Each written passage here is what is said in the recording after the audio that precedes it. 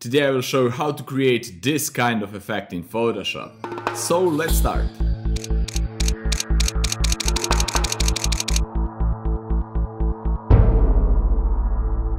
Hi guys, my name is Nemanja Sekulic and welcome to another fun episode. Today I will show you so-called low polygon effect in Photoshop or how I like to say origami or paper mask effect. So let's jump straight into Photoshop and let's have fun. Alright guys, for this episode I will use this photo of a lion. Actually I will use just a lion's head.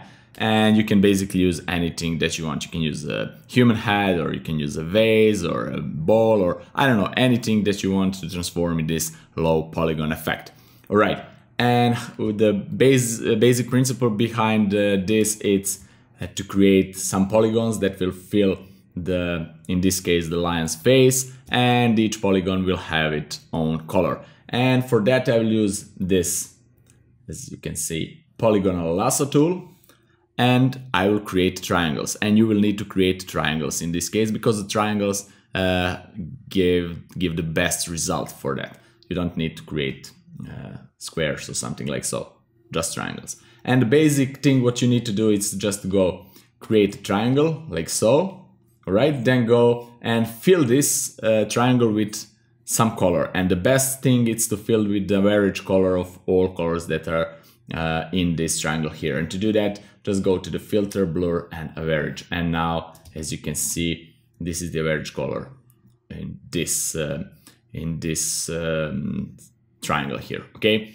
And then press Control command j to create that in a new layer. Go back to the background.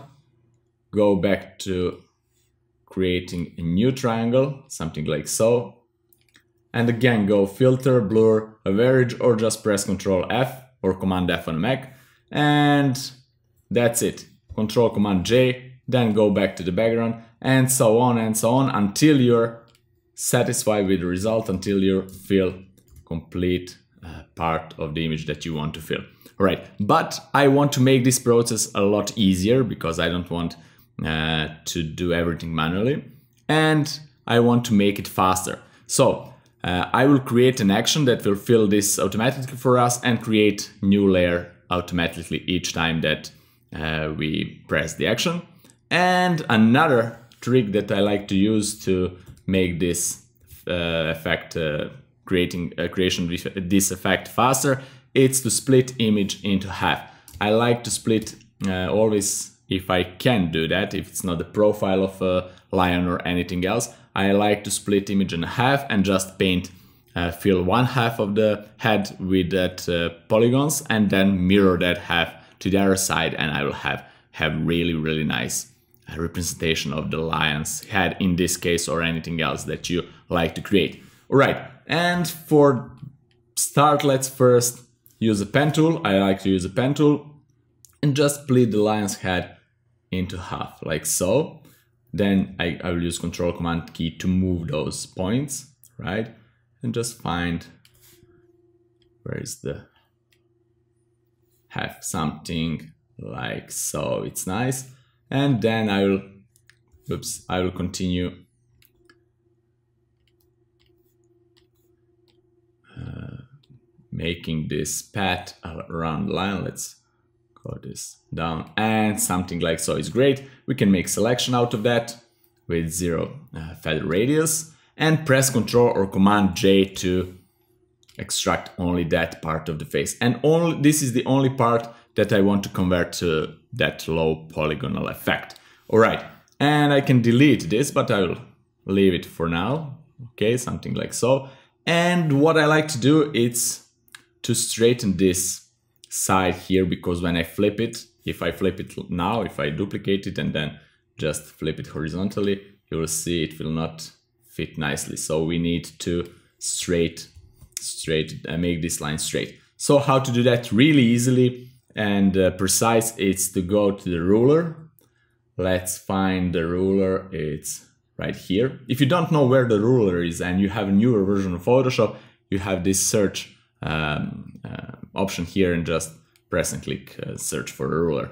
Right now I will use the ruler here and just make a line along to this edge of, of uh, the line space, right? Something like so. And then go to the image, rotation, and click this arbitrary option, and it will automatically uh, calculate it. And it says that it will rotate 2.75 degrees counterclockwise, right?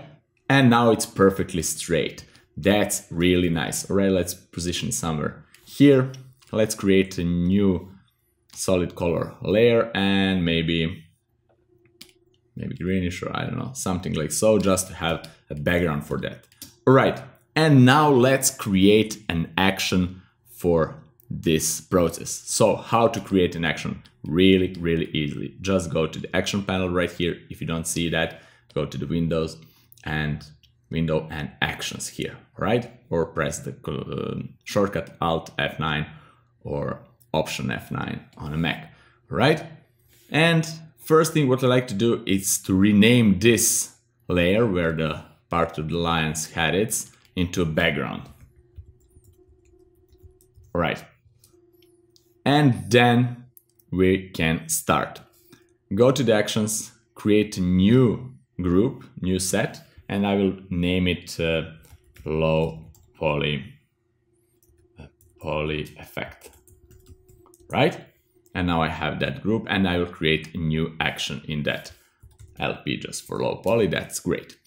And now what I like to do is say stop, go to some other layer and start recording that. First thing what I like to do is to select the background layer. See, select layer, select layer background. You cannot see, oops, you cannot see here. Now you can see. First thing that this action uh, is doing is to select, to go and select this background layer. Right, now let's go and use polygon lasso tool. I don't want to move the layer.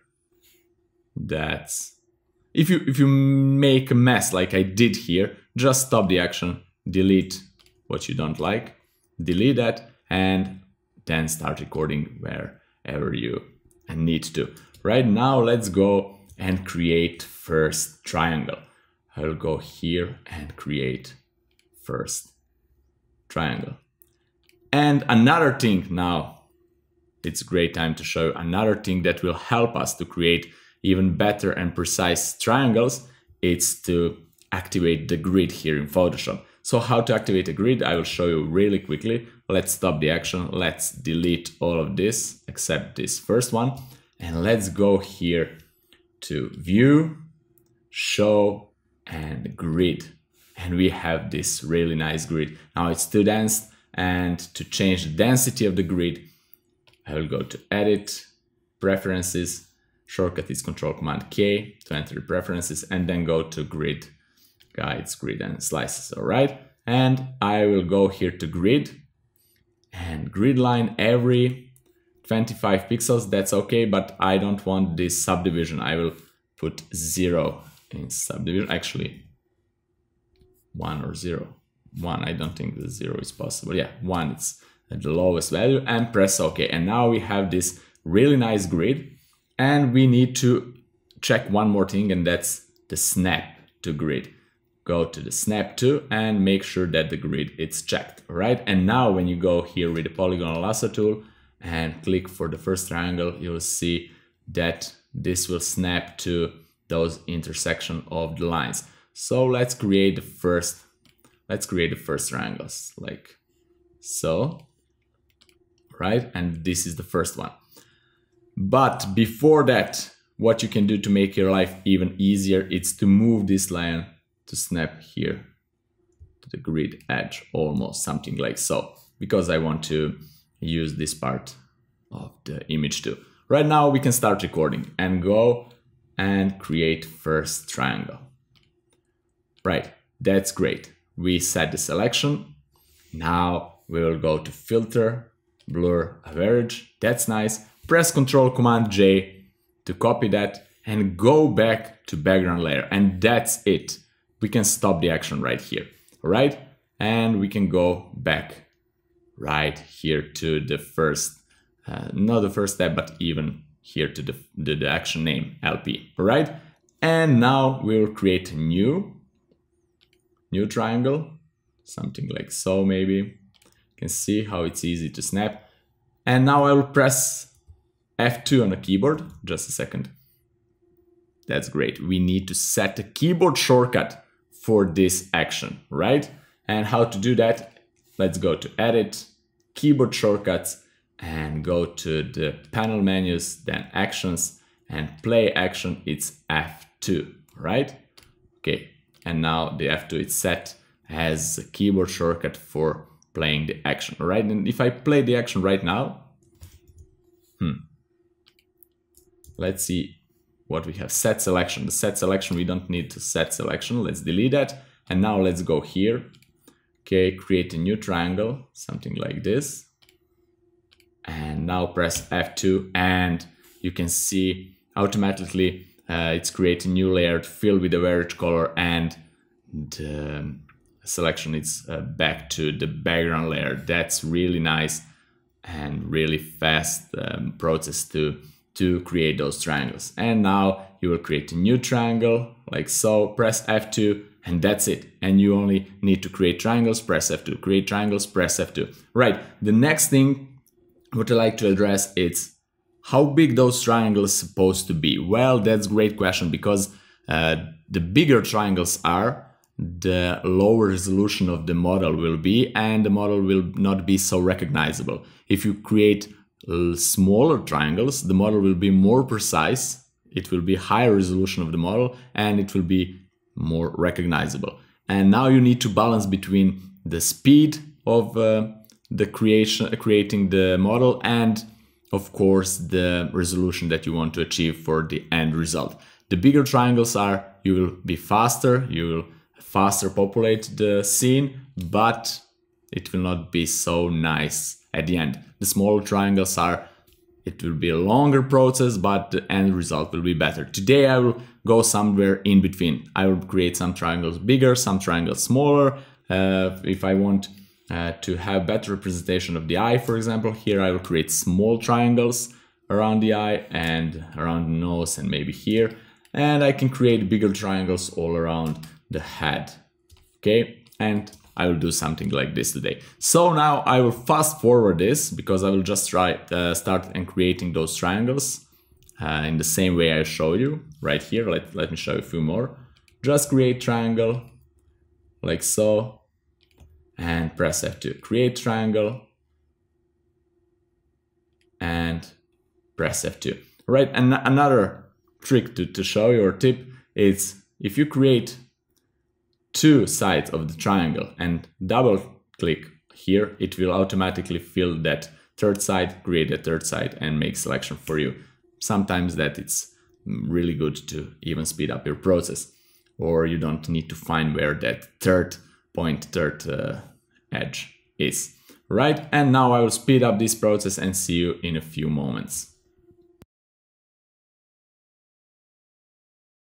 Alright guys, just to address one more thing, uh, try to create triangles where the natural triangles on the image are. For example, here, this is really a nice way to create triangles because here is actually the natural triangles of this darker color. And then the next triangle, maybe it can be from here to here, why not?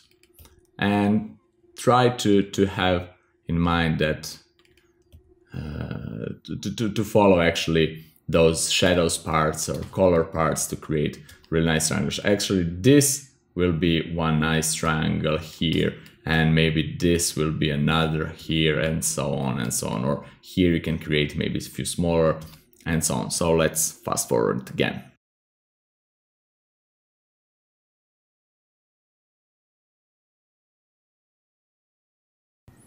And one more tip, if you don't see pretty much uh, here the difference between actually the difference between those two triangles, you can just go here to the background layer and lower the opacity to have better representation. And now I made the mistake here and I can go and undo this of course and create another one. But I made a gap here because I didn't saw where this triangle ends actually. And of course you can always uh, correct that at the end of the process. But now I will just go a few steps behind and just correct it. All right, all right, let's fast forward it again.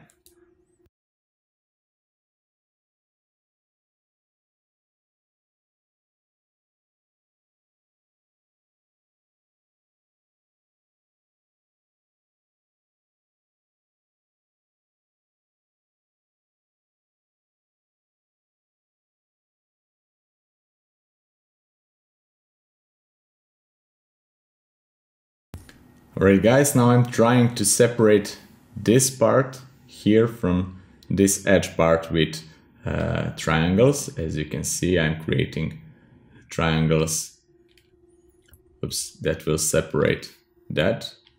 And you always need to think about the surfaces that you want to separate. Here I can create bigger triangles, no problem, because this area doesn't have uh, doesn't have a lot of details, but some things here you will see. We will need to make density of the grid higher to have a higher density and then we will start playing with small details. And when you're playing with small details it's a little bit harder but it's not big deal.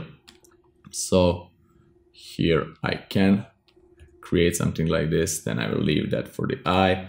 And this part, it's really easy because we don't have much details around here and we can create those triangles as really like basically.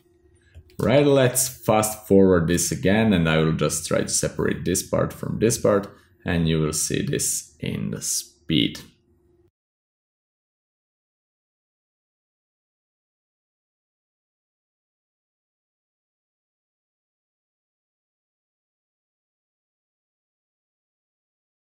Right guys, now those triangles here are a little bit smaller because uh, we need to pay attention of those details and I will leave these parts for later and I will just fill out this little bit bigger parts and then we will change density of a grid. Let me see. Because we need to populate this and the nose and the eyes a little bit with a little bit smaller triangles.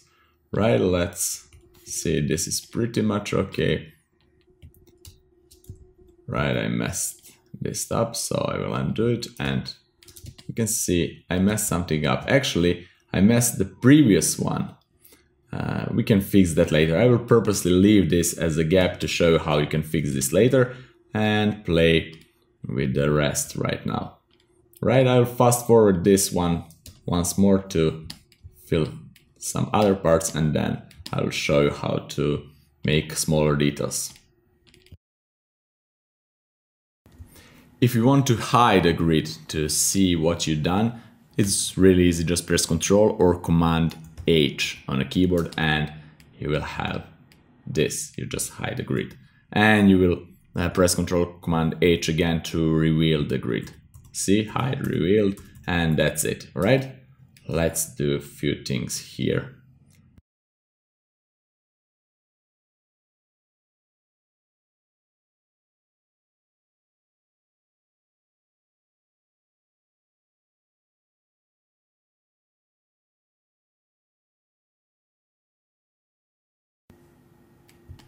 Alright guys, that's it.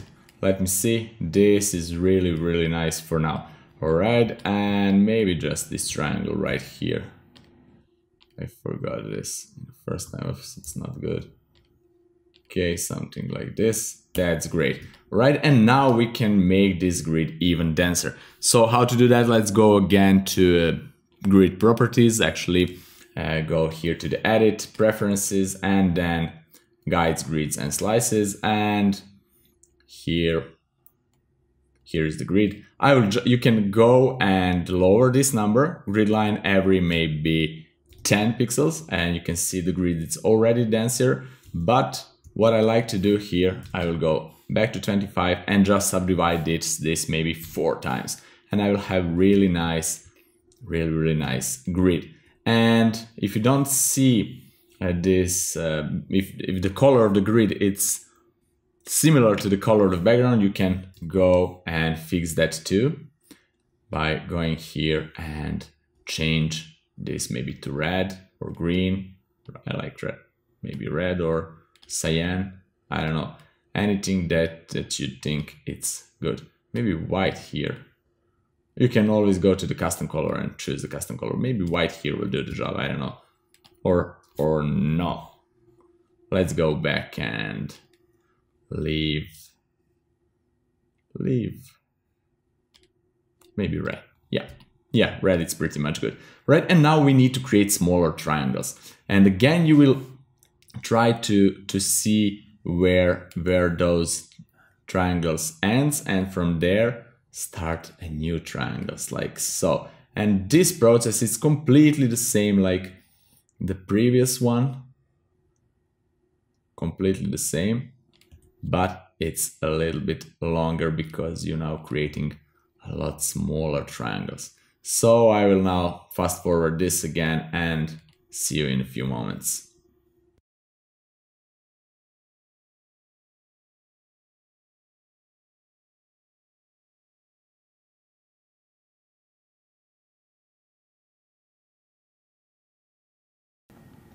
Alright, I just finished the eye and now let's go to the nose and try to be as much precise as you can to have a really nice representation of a lion here or any animal or thing you choose to convert into this this low poly state, right?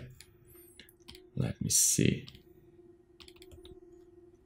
that's wrong, I messed here.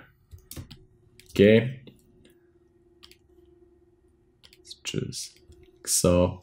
And then of course I will fast forward it again because you don't need to watch this in real time because it's really boring and you will practice on your own files and you will see how this looks like Alex in real time, right?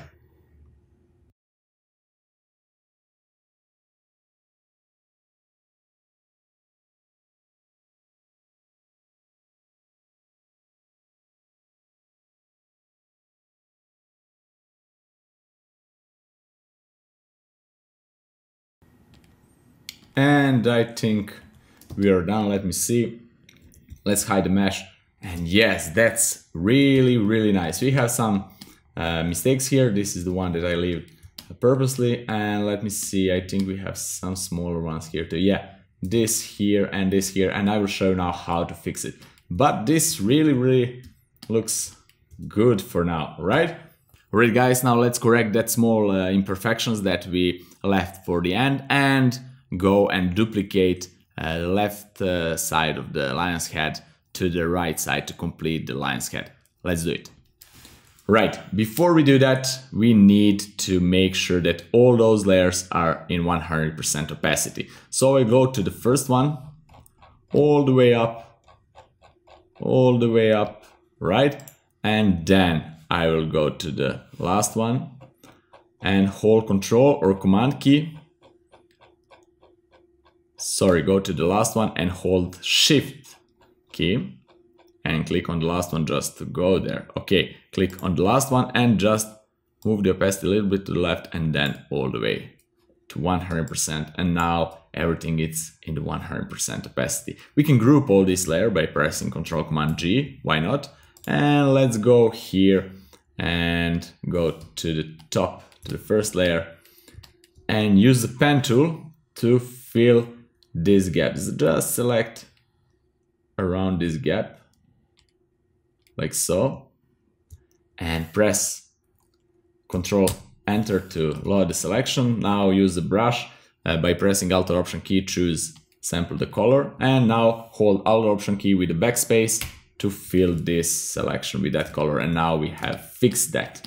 And let's go find another spot that we missed. This one right here, we can do on the same layer, doesn't matter.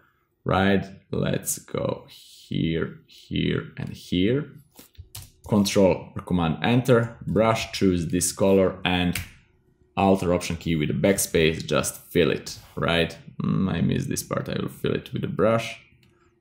So hard, right? And I will use brush again, choose this color and just fill this. Let me see. I think that's okay. If we miss mess, uh, miss something up, we will. If we miss something, we will correct that later. Let's close the group, and now let's close this, and I will duplicate the group by pressing Ctrl Command J, hide the original group, and now when I have selected this group, I will press Ctrl or Command E on a keyboard to just merge everything from the group into one layer, right? And now I'll duplicate this one more time, Control Command J. Now transform it, Control or Command T, and I will use this rotation point and put it all the way to the right. And now right click, flip horizontal and press OK. And now we have our line. You can see this line, but uh, you will not see when you merge everything together. And now we have our line finished basically right? You can choose, you can now play with this. You can go to this layer down below, put curves on it, clip it, and maybe, let me see, maybe make, make this darker, this part, maybe darker and more contrasty, like so, and go here and put another curve, clip it here, and make it brighter, like just to have that 3D effect that this part is in the shadows maybe why not? And maybe something something like so or maybe this part it's too much. Like this. Okay. And that's really nice. If you bother with if this line bothers you we'll fix it really really quickly. We'll go and select all of these press control command E and now we will not have this line. We have this as a new layer. Right, next thing what you can do, you can use a pen tool and maybe you can cut some parts off that you don't want with the delete tool or use a polygonal lasso tool and just just cut those parts maybe I don't like this to be visible or you can reshape reshape the the head, oops, you can reshape the head here as ever you like. Let me see. Yeah, maybe it's better like this. It's just personal preference and you can do whatever you like with this. Let me see, maybe like so and delete. And maybe this is what I like. This is my line. And for the end, you can, of course, create some shadow, drop shadow down below with uh, this elliptical marquee tool. Just create some shadow like so. Okay, choose any dark color from here, maybe this one, and fill this. You can, of course, make this make uh, this shadow a little bit blurrier with the Gaussian blur. Okay, as much as you like something like so maybe and lower the opacity like this and that's really really nice. Of course you can reshape this line as ever you want. You can go even to to the liquify tool and just reshape this better. Okay maybe like this to be a little bit down below. These are the ears right here. I will reshape this a little bit and maybe something like this. All right, and what you can do next is to maybe dodge and burn this. Why not? You can play with this whatever, you can do whatever you want. Right, this is for dodge and I will dodge with really soft brush and 10% opacity. I will dodge this part right here. Okay, just add some tridimensionality to that. Okay, and maybe this part right here and this part. Why not? And maybe make this part a little bit lighter. And I can burn something. I can make some part darker, right? And maybe this part right here and right here from this side of the nose Okay, and maybe this part a little bit darker and this part. Maybe I, I should make those ears even uh, higher res than I did now, but you can play with that as ever you want. It's up to you later to play with this. I just show you how you can you can do that. Okay, and maybe this a little bit darker. Why not? And this is our lion. This is really, really nice. You can merge everything together, go to maybe, mm, yeah, merge everything together, go to filter and camera raw. Then you can maybe boost the contrast and clarity, maybe exposure a little bit up. You can add some vignetting here. You can sharpen even a little bit, like so before and after really really nice. And of course you can lower the saturation or boost the saturation of of the lion and play with a little bit with uh, color temperature. And that's it. You can you can do really really a lot of things right here. Okay. And this is before and after before and after Alright guys, that's it for today. It was a little bit longer episode, but I hope that you like it and that you learn something new out of it. This is really easy but time consuming effect to create, but you can have a lot of fun with this after you can use it in some photo manipulation as a face mask as you can see on internet that paper mask of uh, some animal people are using for photo shooting you can create uh, in Photoshop and then just put it on somebody's face or you can put, make your logo out of this or I don't know anything. The possibilities uh, are really really uh, wide so your creativity is the limit. Have fun experiment practice uh, invest sometimes some time to uh, master this effect and when you master it of course you will uh, even more enjoy creating it and you will know when uh, to use smaller triangles, when you can use bigger triangles and so on and so on. If you have any questions regarding to this episode, please leave them in the comments below. I will be glad to answer them. See you next week in the next fun episode. Bye bye.